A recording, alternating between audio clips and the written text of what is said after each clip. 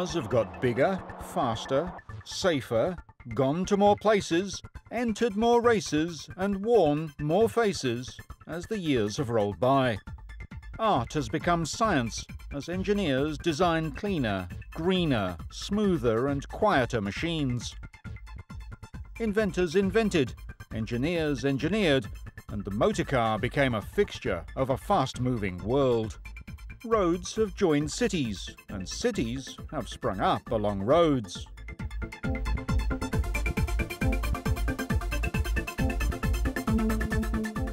Mankind as servants of the machine, or machines the servants of mankind.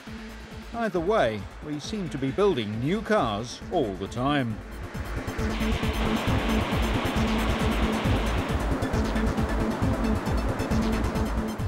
Precision movements, perfect harmony, running like a well-oiled machine.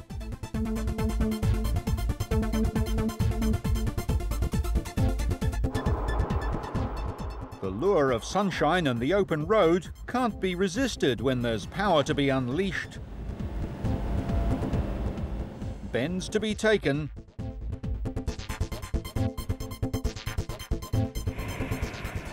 Hills to be climbed. Deserts explored. And rivers crossed, just because they're there.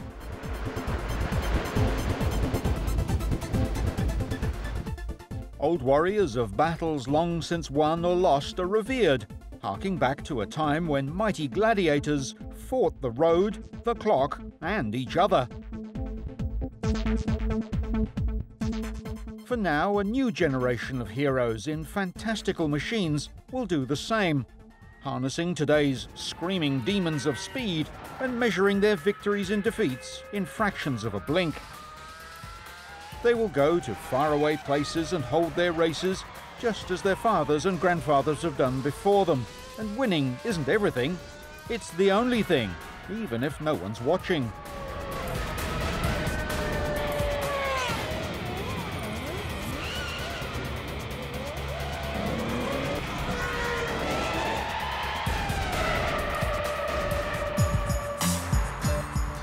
And on the way home, under the skin, the machine's still with us, still there, still keeping us safe.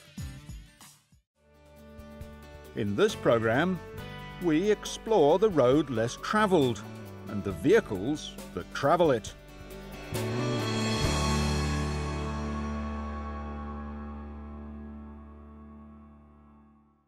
In the earliest days, roads were places that horses hauled carts. But as more and more cars came along, so did road construction gangs, roadworks, road closures, and chaos on the roads. From hard-packed earth to hand-laid wooden blocks, cobblestones to concrete, and eventually poured and rolled hot mix, a byproduct of making petrol, roads became more durable. Vehicle makers rose to the challenge and soon realized that driving all the wheels was the most efficient way of moving their machines. The first four-wheel drive was made in Amsterdam in 1903. But some car drivers wanted to go further than the roads permitted, and in weather that would defeat most cars. So owners had their vehicles fitted with skis and moving link tracks like chains that became common on military and earth-moving machines.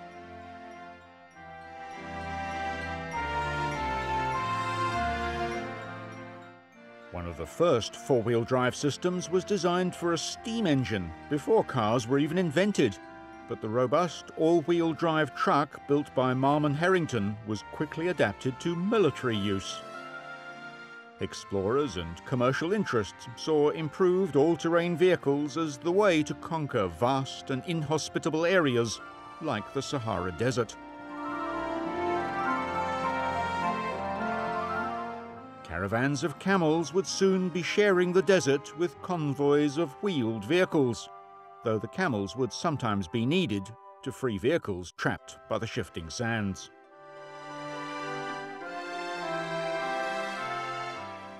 If necessity is the mother of invention, then warfare is its father.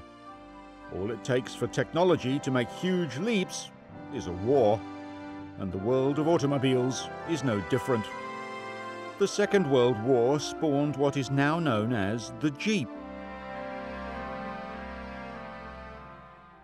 Although no one's really certain what the name came from, from an abbreviation of general purpose to an internal Ford naming system, in early 1941, Willys proved the vehicle's off-road capability by having it driven up the steps of the United States Capitol by a test driver who heard soldiers calling it a Jeep.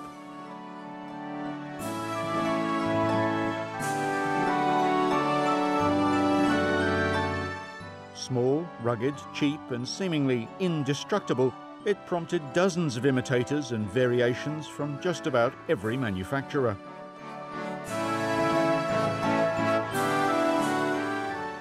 Even once the war was over, vehicle development continued, with trucks being made to carry more load over rougher ground and at higher speeds. The British Army even experimented with a gas turbine powered armoured vehicle and weren't shy about demonstrating what their fighting machines could do.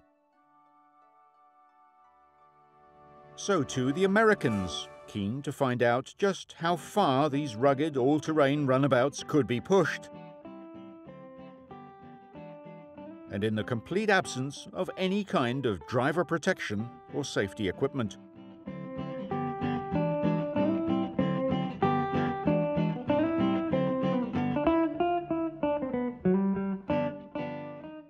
And after the war, when there were lots of surplus jeeps left at the end of hostilities, keen drivers did what comes naturally. They raced them.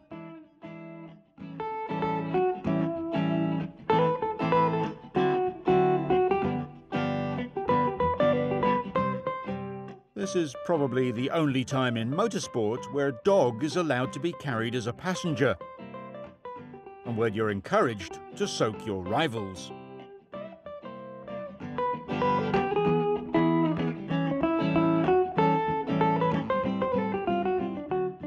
Even with humans aboard, the result is the same.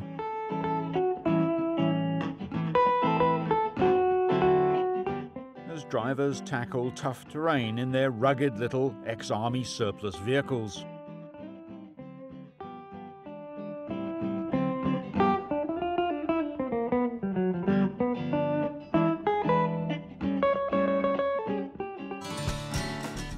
Fifty years on, and the original Jeep has grown up and become more civilized for a civilian role.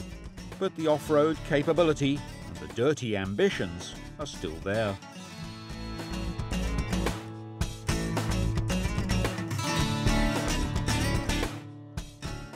What is now known as the Jeep Wrangler takes its passengers even further off the beaten track, in more comfort and with greater safety levels. It's become the great freedom machine of the get away from it all crowd, able to drive to work in the city Monday to Friday and head off into the wilderness at any time. With a clip-on hard roof or a canvas top that can be peeled off to let the sunshine in, and with stout rollover bars, the Jeep has evolved with the times. Over the years, Jeep have built more passenger-friendly cars too, still with their tough go-anywhere underpinnings, but with more weather protection and more convenience. One of the more recent models, but one with a proud history, is the Cherokee. Needless to say, some owners have sought more and more performance, so the factory's response was to fit a high-performance 6-litre V8 engine and lots of bling inside and out to create the ultimate Jeep and SRT stands for Street Road Track, a high-performance division of Chrysler who own the Jeep name. For those that don't need quite that much performance, there's always the standard Cherokee that combines most of the comfort and convenience of a modern car with the go almost anywhere capabilities of all-wheel drive.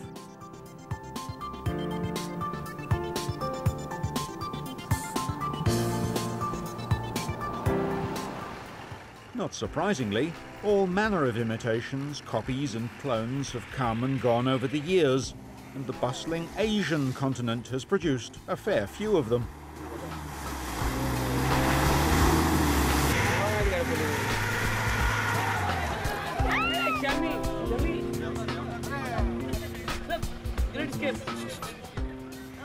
A series of rallies in India attract hundreds of competitors every year who tackle a route usually made tougher by sudden monsoon rains or choking dust in cars which aren't exactly state-of-the-art racing machines.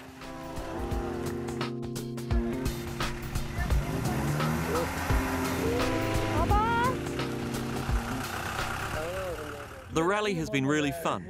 The route was through one of the most diverse and difficult terrains. There was slush and mud, forests, routes cutting through rivers, and rain-drenched countryside.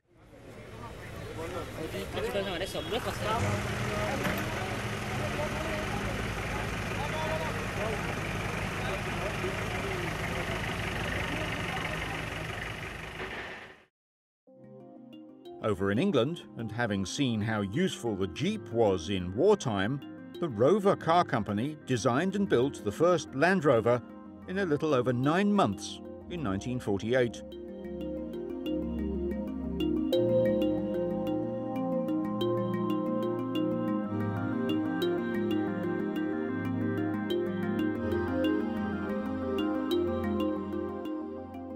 The first Land Rover prototype was built on a Jeep chassis as a farm vehicle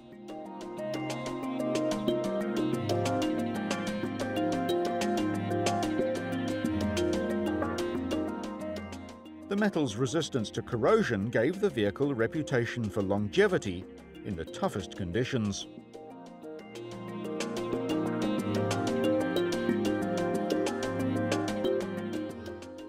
Once production started and the word got out, Land Rovers started being used for all sorts of applications and being exported to dozens of countries.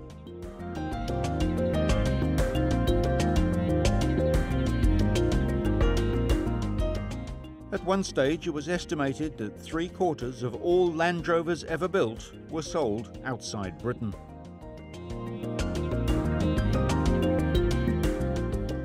Although it took 28 years to build a million Land Rovers, they were built outside Britain too, at factories in Spain, Iran, Turkey and Brazil. The 4 millionth vehicle was built in 2007.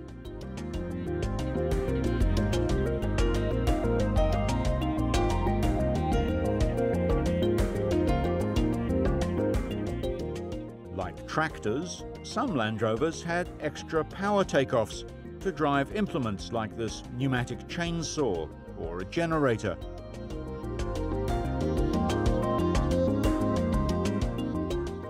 The rear-facing PTOs were available as options until 1985 and can still be ordered as a special fitment.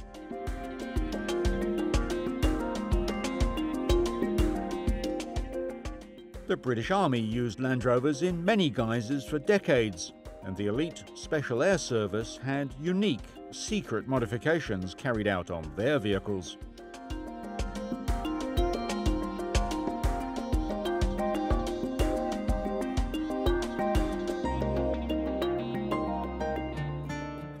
Like Jeep owners, Land Rover owners use their vehicles for recreation though the British have a different idea of motorsport.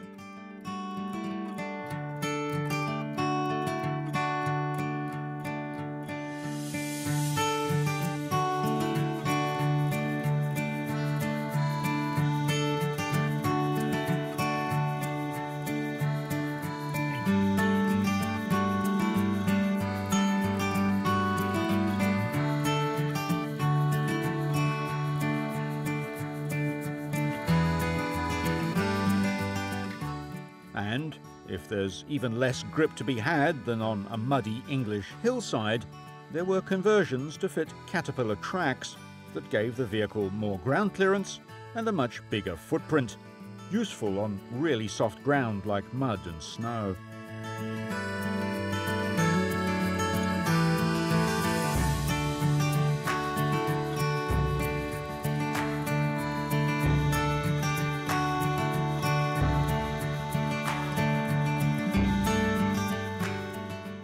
Variation of the long-suffering Land Rover was called the Road Railer.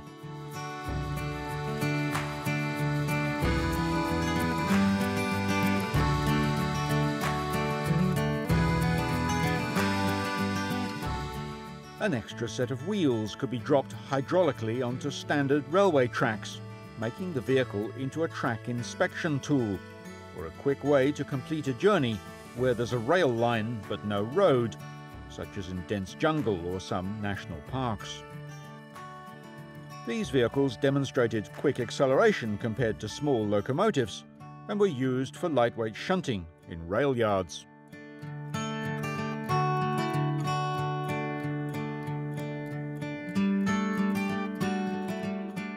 Intended to move personnel and small equipment, the main problem was that the Land Rover was often too small to trip train detection safety circuitry. The idea hasn't gone away though, and there are still a few late model Land Rovers equipped for a life on the rails.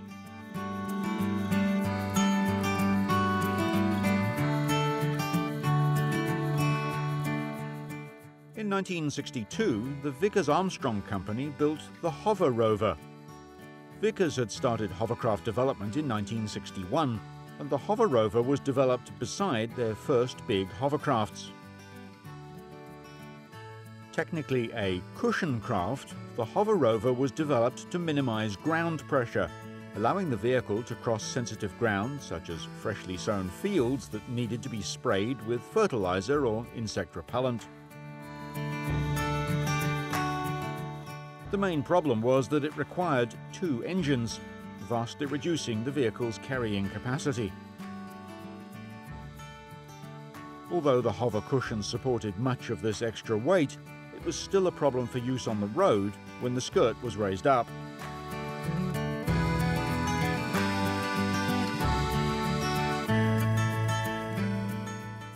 The Hover Rover was never developed beyond a few working prototypes, although for a few years Vickers used it as a promotional device for their larger hovercrafts.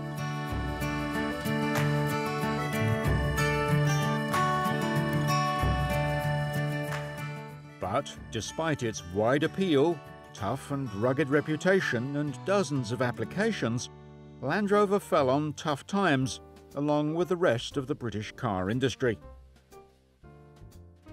Ownership of the iconic name passed from pillar to post, and in 1994, Land Rover was taken over by German carmaker BMW. Six years later, having spent millions to introduce new models, new technology, and improve quality, the Germans admitted defeat and sold the landmark company to Ford for 3 billion euro.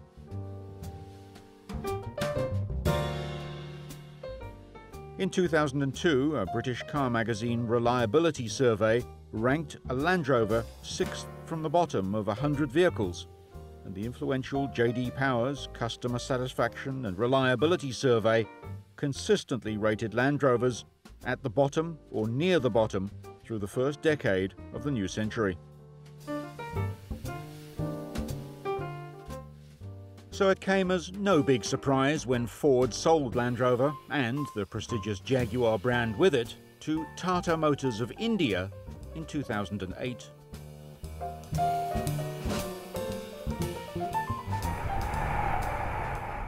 Besides the familiar, boxy Defender range, other, more city-friendly and socially acceptable Land Rover models were introduced, such as the prestigious, powerful and luxurious Range Rover.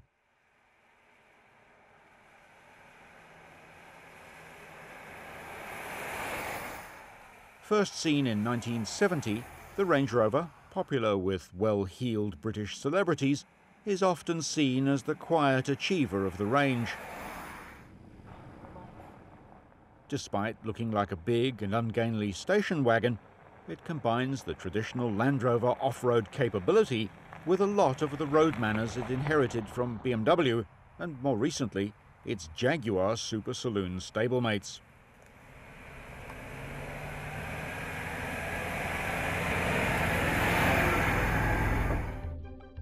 Inside, it's like a stately English home, or one of those exclusive London gentlemen's clubs. The pale leather furniture and subtle wood trim look, feel, and even smell expensive. And they are. Modernity comes in the form of TV screens in the headrests, electronically adjustable four wheel drive, and a reversing camera, but the versatility's still the same.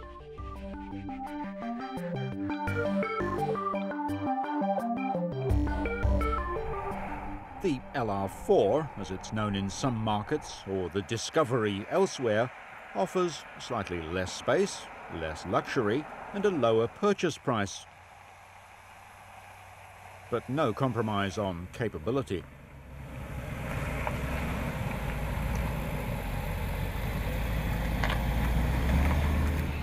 It was introduced in 1989 and early discoveries were widely criticised for glaring quality control failings.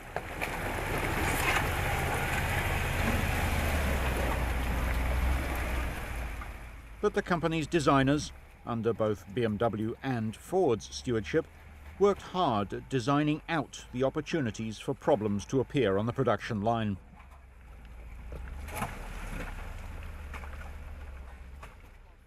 At the same time, they've kept Land Rover's hard-won reputation as a world-class off-road machine.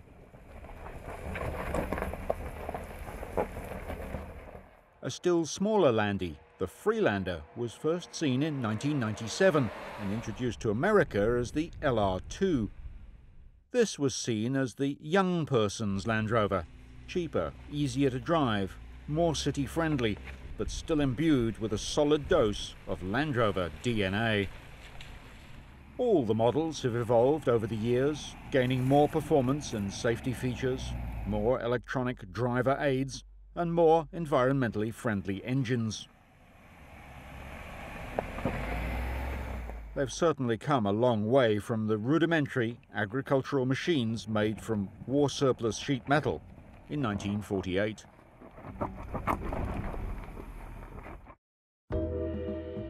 Just as the Jeep was born out of a vehicle originally developed for the military, so too has the vehicle now known as the Hummer, evolved from a military specification truck.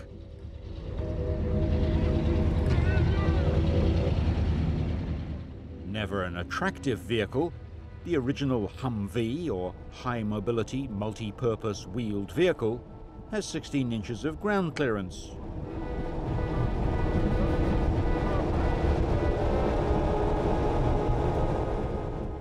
There are at least 17 variants of the Humvee in service with the United States Armed Forces. They serve as cargo and troop carriers, automatic weapons platforms, ambulances, missile carriers, and they tow howitzers.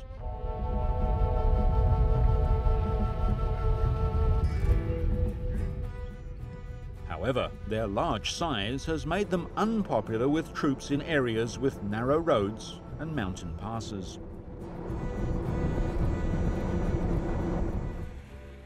The story goes that action hero actor, former Mr. Universe bodybuilder, and Governor of California Arnold Schwarzenegger saw a Humvee and decided he wanted one for use on the road. And so was born the Hummer, a slightly more civilized version of the military workhorse.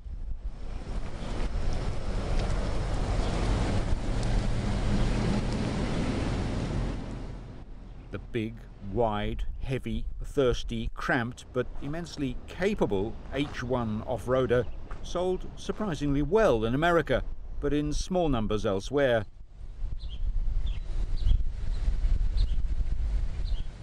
It was just too big, too heavy, too ponderous, too consumptive, and too brash for most markets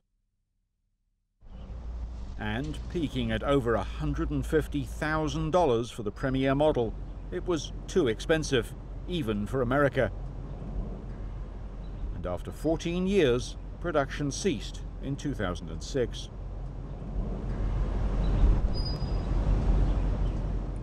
The later introduction of a smaller, more civilized H2 saw sales numbers climb, peaking at 34,500 in 2003 before dropping away to just 6,000 in 2008. when a basic model cost over $53,000. The smaller still H3, built on the underpinnings of a conventional American market SUV in South Africa and Louisiana, failed to provide the big sales numbers at home in America, where it was seen as a poor man's Hummer and too small, and in the rest of the world, where it was regarded as too big. During its enforced bankruptcy, General Motors were obliged to close or sell a number of iconic brands, and Hummer was one of them. It was sold to a large Chinese heavy machinery manufacturer.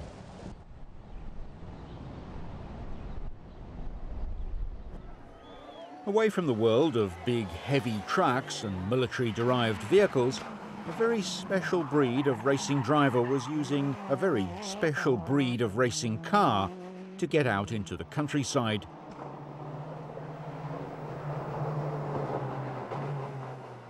The almost uniquely European sport of rallying sees cars and their two-person teams racing against the clock across closed public roads, and the public flock to obscure corners, bridges, waterholes or jumps to see these masters of the art of car control at work.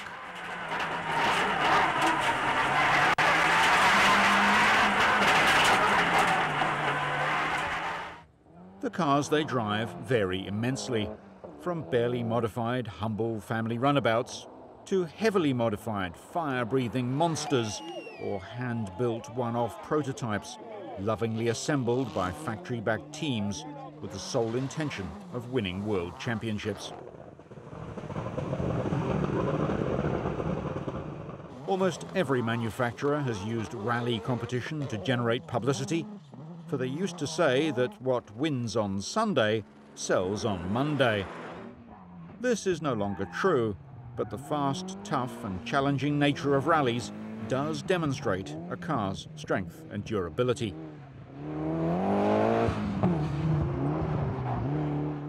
Driving rally cars fast requires special techniques. For a start, unlike racing on a circuit where the same corners are repeated, on a rally, each section or special stage is driven only once or twice, and even then, it's often in the reverse direction.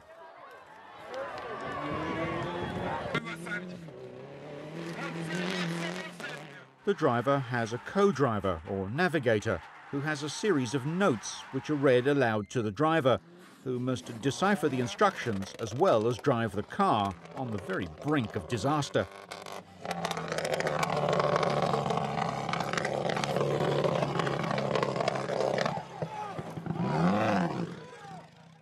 The instructions contain information about the next corner, which way it goes, how fast it can be taken, what happens next. It's a symbiotic relationship.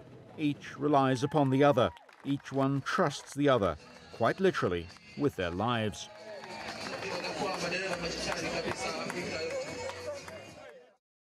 Undoubtedly one of the world's favourite rally cars, the Mitsubishi Lancer has been raced by homegrown hero privateers and more professional rally teams for years.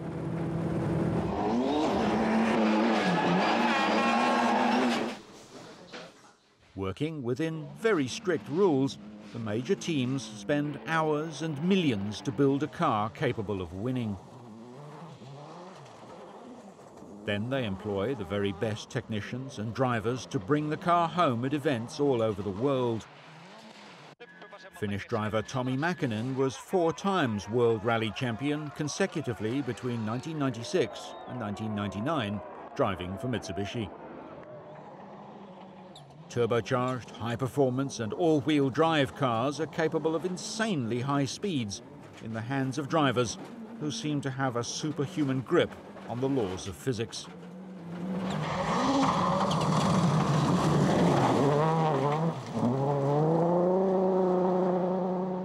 Just as successful, and the Lancer's bitter rival, has been Subaru's Impreza WRX.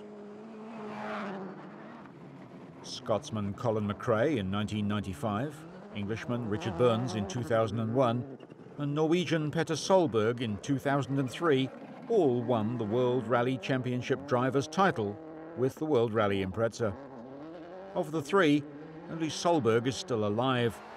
McRae died in a helicopter crash just a few months after he retired, aged 39, while Burns died of a brain tumour four years to the day after he won his World Championship, and he was just 34. Like the Mitsubishi, the Subaru is a hugely powerful car, despite having only a 2-litre four-cylinder engine. Its rally successes have given the much less powerful road car almost cult status.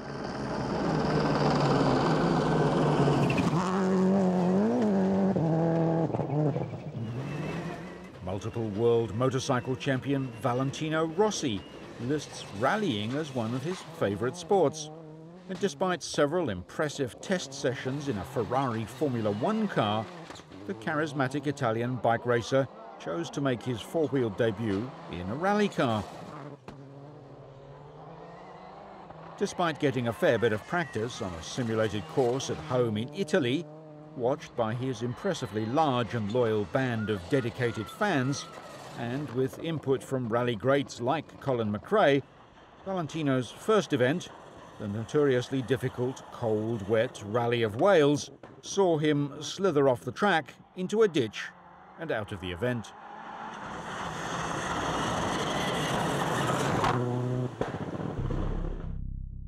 German carmaker Audi produced a four-wheel drive system called Quattro, and they tested it by racing the intimidating Pikes Peak International Hill Climb, also known as the Race to the Clouds. The event, which began in 1916, is an annual automobile and motorcycle hill climb to the summit of Pikes Peak in Colorado.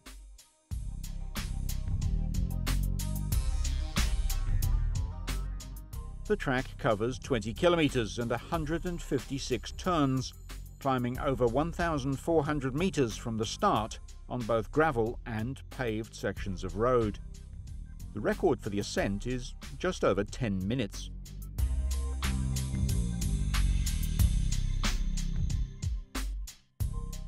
The boxy little Audi S1 went on to race with distinction in sports car events, endurance events, and rallies around the world, and gave rise to a whole generation of racers, which also included multiple wins in the German touring car class and eventually the 24 Hours of Le Mans.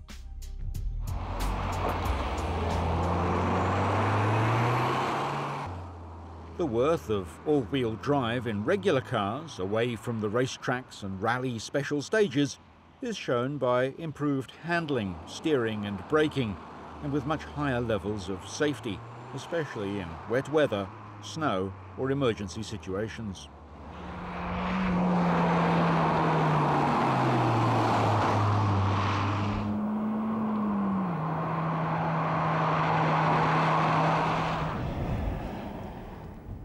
But for those who don't need to get to the very ends of the earth, but do need to get across town or to the shops, there's a new breed of all-wheel drive.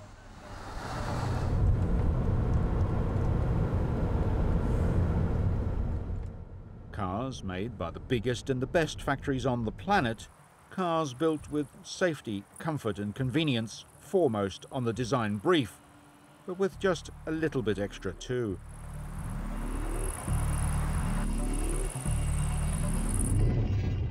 These are the so-called soft roaders, cars which might not climb every mountain, but they'll certainly get you to the base camp.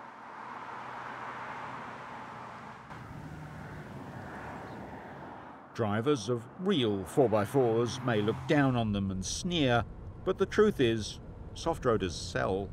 They sell in the millions all over the world because inside every city slicker there's a secret person yearning for the great outdoors.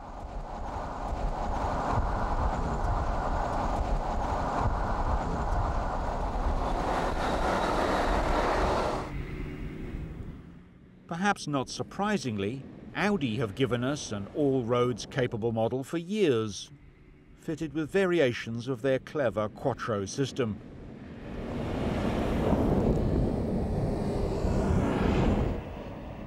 It used to be called the All Road, but now there's the Q7 and the smaller Q5.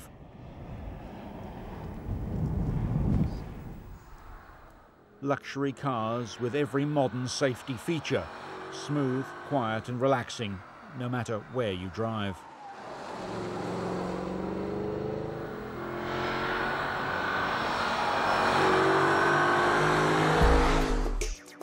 In contrast, the BMW X1 is a much smaller soft-roader, built to complement the smallest four-wheeled BMWs now available.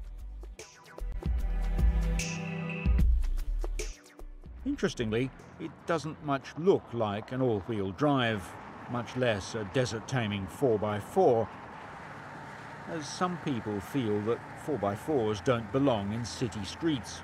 And to look at the X1, who would know?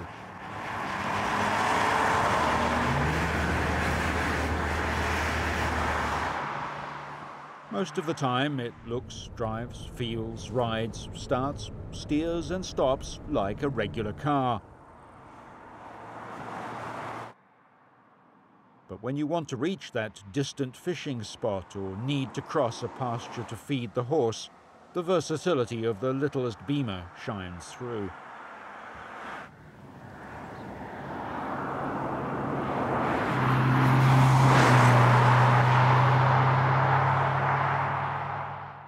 Twenty percent, that's one car in five, sold by BMW are their X models, meaning they are X3 and X5 station wagons, plus the swoopy but very much more expensive X6 four-door coupe.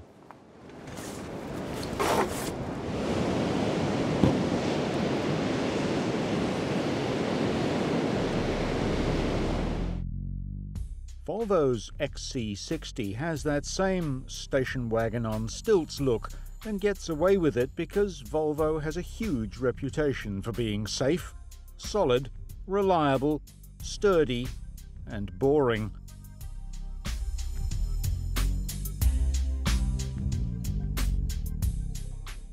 In fact, it's anything but boring.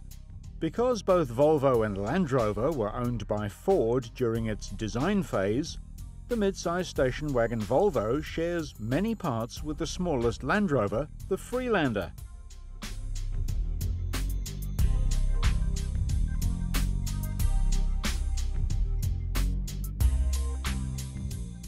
Happily, the Volvo escaped the quality control gremlins that plagued Land Rover and boasts very high customer satisfaction levels.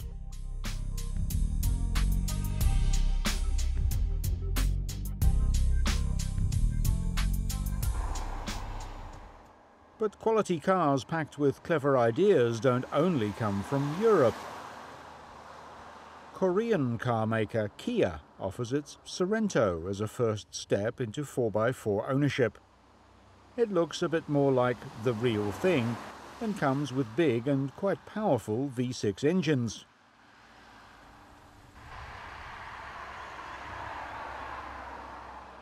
Since its introduction in 2003, Kia have steadily refined the Sorento and it now boasts a 5-star safety rating, the highest available for all passengers in the event of a crash.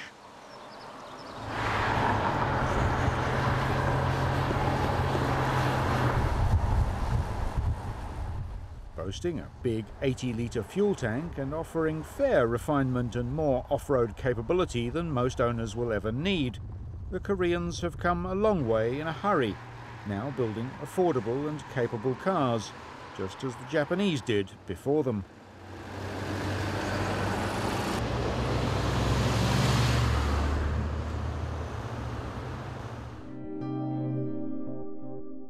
During the Second World War, an Australian named Ben Carlin saw an amphibious jeep and decided it should, theoretically, be possible to drive and sail around the world in just the one vehicle.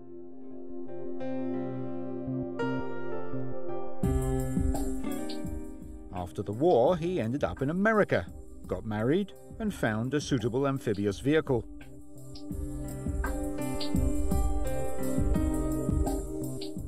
The couple added a more boat-like prow, a cabin, and a bigger fuel tank to make it half safe, and set off across the Atlantic in 1950, eventually reaching Morocco. After several years in England to repair the vessel and write a first book, the couple sailed across to France in 1955 and then drove through Europe, Iraq, Persia, Pakistan, and India.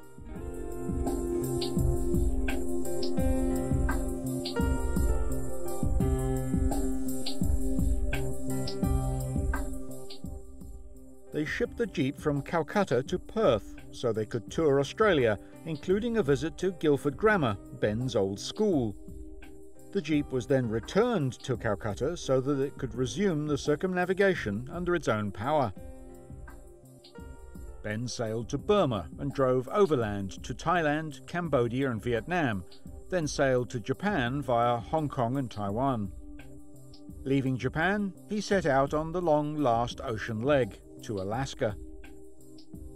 On May 13, 1958, the Jeep finally drove into Montreal, where the project had started. It had covered 9,600 nautical miles by water and 39,000 miles overland by Carlin's reckoning. The book of the second half of the trip was not published until 1989, eight years after Carlin's death. Half-Safe is now at Guildford Grammar School and has been beautifully restored and is on show in a special glass walled garage.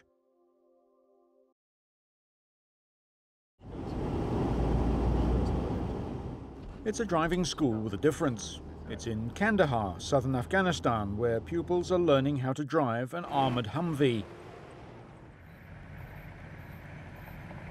Soldiers from the Afghan National Army and international forces are taking turns around the track. They have water obstacles, they have some rough terrain, they have the rocks and very, very narrow passages, and then on the advanced piece of the course, they have some angles that will uh, roll them to the right and left, and some steeper hills that they will go up and down. These Humvees, donated by the US, are new to the Afghan army the soldiers have to undertake a three-week course before they head out on the road.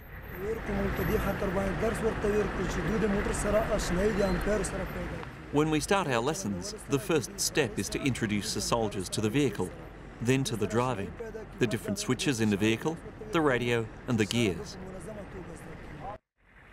For some of these students, it's not just their first time driving a Humvee, it's their first time behind the wheel they haven't driven anything before. The clutch, operating something with a clutch, always lurches and it's it's comical sometimes. With the Humvee, it's because it's so wide. They'll drive through a gate or something and inevitably scrape off the other side, you know, because it's so wide. It's it's it, we can have some fun out here, but hopefully without tearing up too many vehicles. What is now regarded as the world's toughest race started out as a winter holiday jaunt for a group of friends.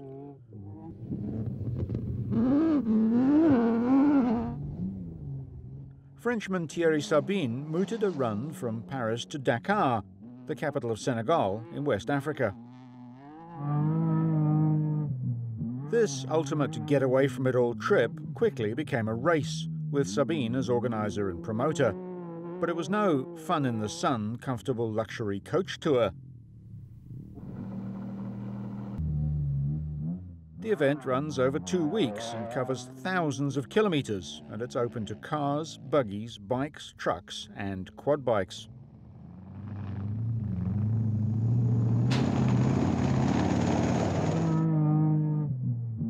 As the streets of Paris and also regional France became unable to host an event of this size, the start venue moved around and was more recently in Spain or Portugal. A few times the end wasn't in Dakar either. Once it went all the way to Cape Town, another time to Egypt.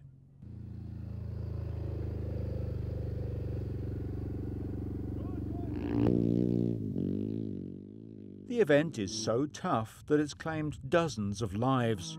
Drivers, riders, navigators, spectating locals, mostly in crashes, but sometimes as victims of gun-toting bandits. Sabine himself was killed, along with four others, in a helicopter crash on the event in 1986. Eventually, threats of lawlessness and steadily increasing political and civil unrest in the region forced the cancellation of the event in 2008.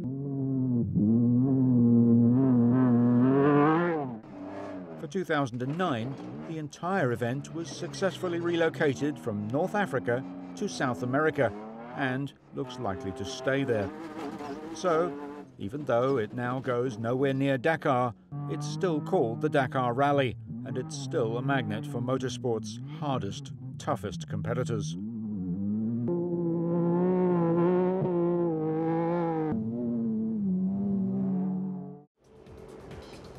Female racer Jutta Kleinschmidt first rode the Dakar Rally on her motorbike, merely as a spectator.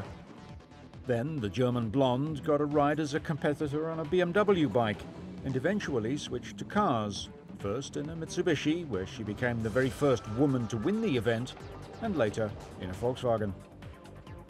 She and her teammates, which have included former World Rally champion Carlos Sainz, have steadily developed their Volkswagen Touareg Racer into a serious contender for victory, even if it looks nothing like the road-going vehicle that customers can buy in dealers' showrooms.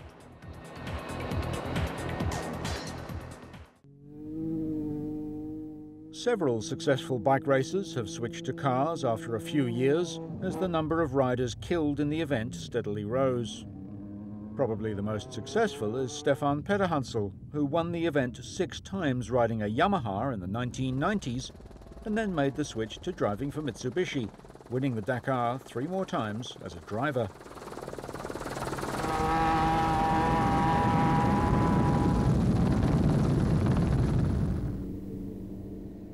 For racers of this kind of event, the rougher, the hotter, the longer and the more remote, the better. They really do want to get far from the maddening crowd.